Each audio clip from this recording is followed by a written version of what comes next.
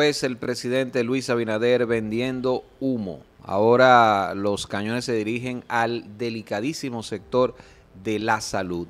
Muy bien sabemos, en su LA semanal, a inicios de, esta semana, el lunes, él anunció con bombos y platillos que medicamentos para eh, segmentos delicados de la población como hipertensos y también diabéticos, que medicamentos que se entregaban por la unidad de atención primaria, que son dos mil y tantas en todo el país, se iba a entregar ahora por las farmacias del pueblo de Promesecal. Pero las Promesecal son 600 en todo el país. Hay una gran diferencia en cuanto a la distribución de estos medicamentos. La cosa, la cosa eh, el anuncio que él, que él hacía con bombos y platillos, eh, usted pensaba que era algo, era algo beneficioso, ¿no? Pero el exdirector del Servicio Nacional de Salud y también del Seguro Nacional de Salud, eh, Chanel Rosa Chupani, le aclaró, espérese un momento, esto se está entregando desde el año 2002.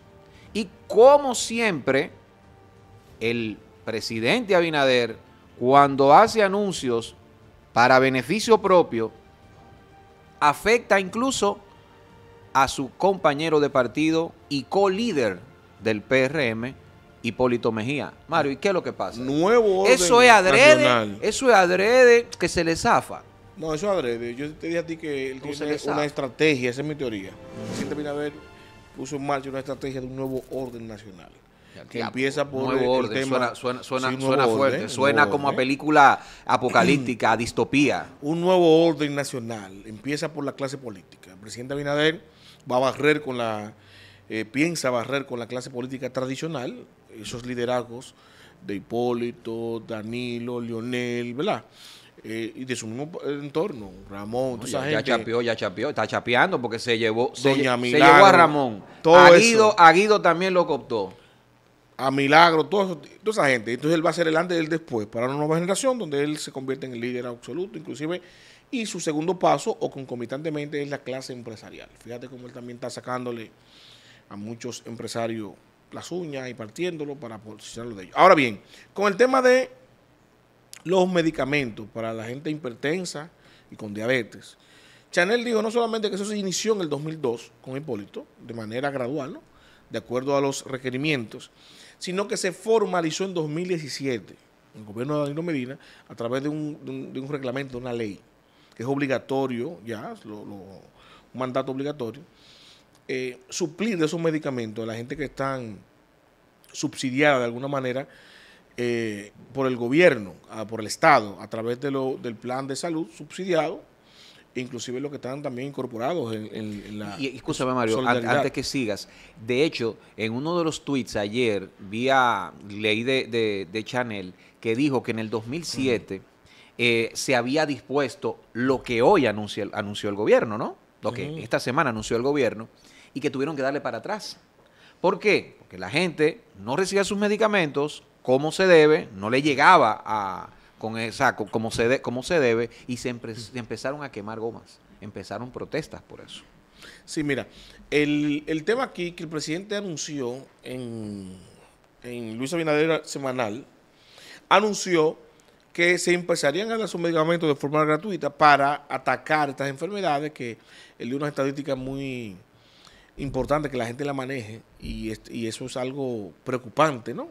de la salud dominicana, del hipertensos y diabéticos que ni siquiera saben que tienen la, enfermedad.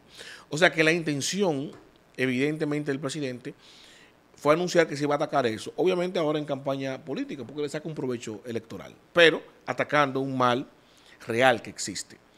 Ahora, lo que no estuvo bien, y aquí no necesariamente es culpa 100% del presidente, aunque él es el responsable porque anunció en, su espacio de Luis Abinader Semanal, es el hecho de que se venda como algo nuevo, un programa nuevo, distribuir un medicamento que ya se distribuían. Y para colmo, la metodología que proponen ahora viene a dañar la que ya existe, a empeorar la que ya existe. ¿Por qué?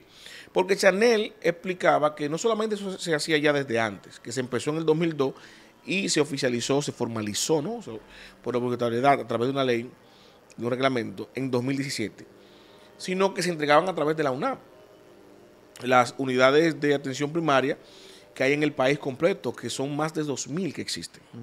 Entonces, el presidente anunció que se van a entregar a través de las farmacias populares, las farmacias del pueblo, las, boticas, que son unas 600 que hay. O sea, mira la diferencia, la disponibilidad de número. Si tú dices que en lugar de entregarlas por 2.000 espacios que hay, unidades a nivel nacional, que vas a entregarla a través de 600 que hay, evidentemente va a ser menos eficiente.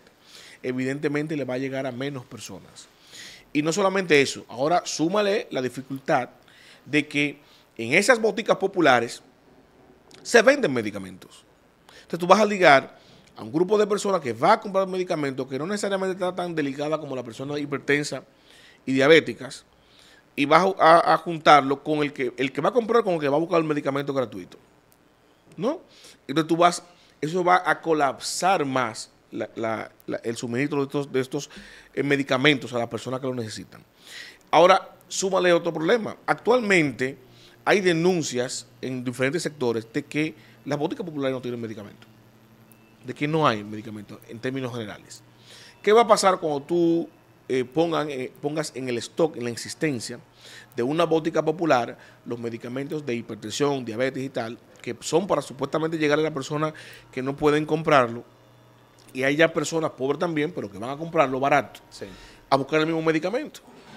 Se va, se va a tomar ese medicamento que es para dárselo a, don Juan, a don Pedro, a doña María, y se le va a vender a Altagracia a Luisia. Y cuando vaya Juan, don Pedro y doña María a buscar el de ellos, ¿qué va a pasar? O sea, tú estás creando con, esta metodología, con la intención buena de, de ayudar a atacar la enfermedad, estás creando una dificultad y un problema. Y esto es preocupante. ¿Por qué?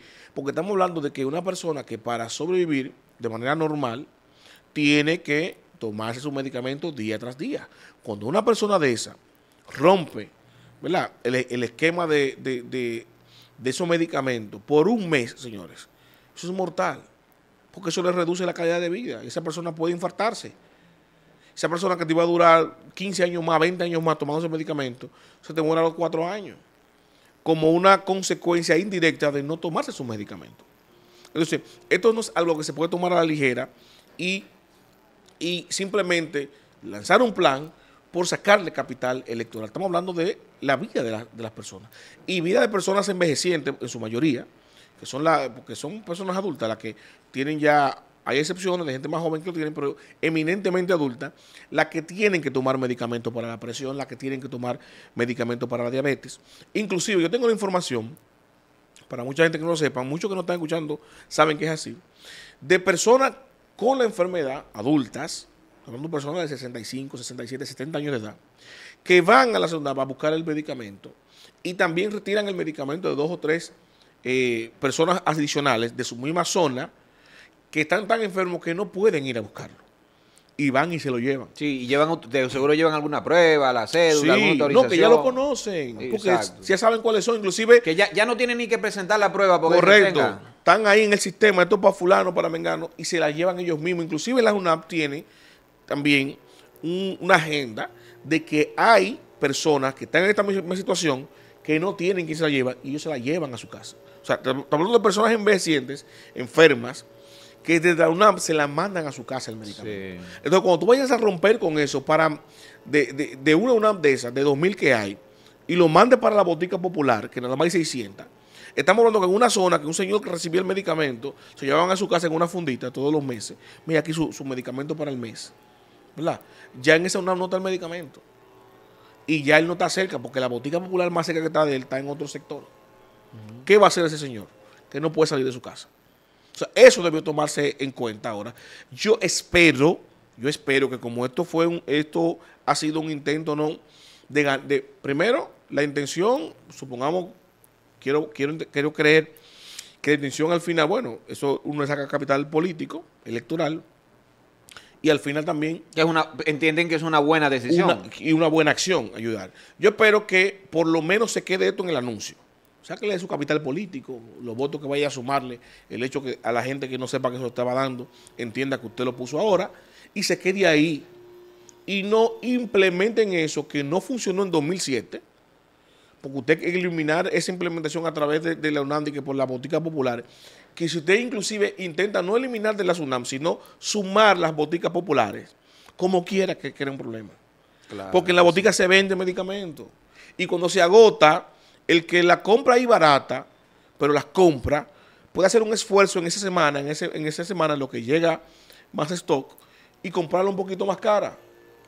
Pero al que se la llevan, al que se la donan, porque no puede comprarla, ni siquiera en la botica popular. ¿Verdad? Si no la consigue cuando se la dan, ¿qué va a hacer? Morirse. Sí, no se la puede tomar. Son personas en alto riesgo de salud y económicamente, bueno, están ya, ya no en la línea de la pobreza, sino más abajo, que sería casi en la indigencia. Yo me sumo a lo que tú dices, pero creo que soy un poco más, yo sería un poco más drástico. Esto lo sabe bien el gobierno, muchos de estos disparates que están ocurriendo en el, sector salud. Recuerda, Mario, el tema de los medicamentos catastróficos. ¿eh? Cómo muchos de ellos no llegaban a tiempo y yo no sé si eso se ha resuelto. Le he perdido un tanto eh, el seguimiento. Pero yo tengo un familiar que tiene una enfermedad catastrófica y tú no te imaginas la brega para poder conseguirlo y la lista de espera de meses para poder acceder a él. De hecho, tengo una amiga que falleció de cáncer por no conseguir, en gran medida por no conseguir el medicamento a tiempo. Hablo de Isabel Peña, que fue periodista de AN7. Es una barbaridad. Y, que se quiera seguir sacando capital político de la salud y con personas tan vulnerables, la verdad que a mí me da mucha rabia.